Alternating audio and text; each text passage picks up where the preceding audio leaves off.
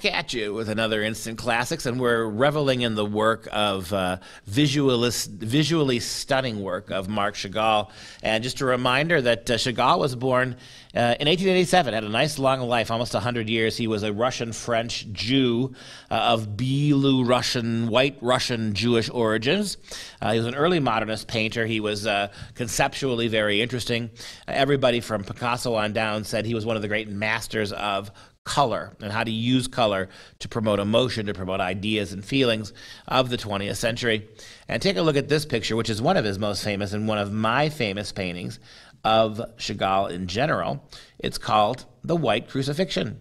And there it is. You get a neat view of it. For a Jewish painter, the crucifixion really, really, really made an impression on Chagall. He painted numerous versions with different significances.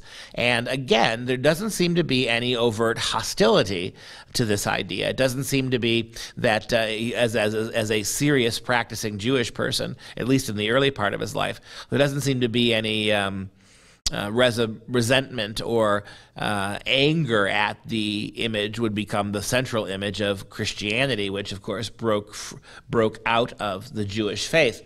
This painting is again called the White Crucifixion. It was painted in 1938. It represents a critical turning point for the artist Marc Chagall. It was the first of an important series of paintings, of compositions, that feature the image of Christ as a Jewish martyr, not necessarily the Son of God.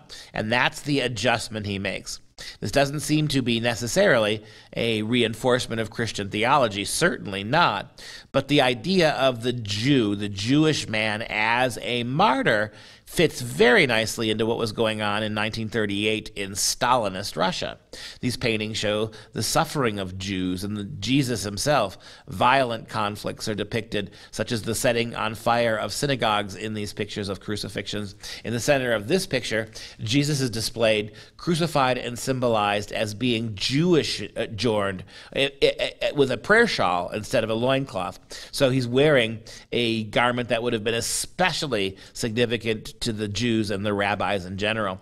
And so, again, it, it, Jesus becomes an everyman here. the, the, the, idea of Jesus is universal, uh, but given a slightly Jewish twist here, given the pogroms that were about to get a beginning to get a lot worse. Of course, 1938, the Holocaust was well underway. Whether Chagall knew that or not, I, at that early a date is probably unlikely, but certainly the rounding up of Jews, Kristallnacht, the expulsion of Jews, both by the Soviets and the, the Nazis, were all sorts of reasons to suggest that something much, much worse was coming down the road, of which Christ and his eminent suffering might be a very, very useful parallel for an artist like Chagall.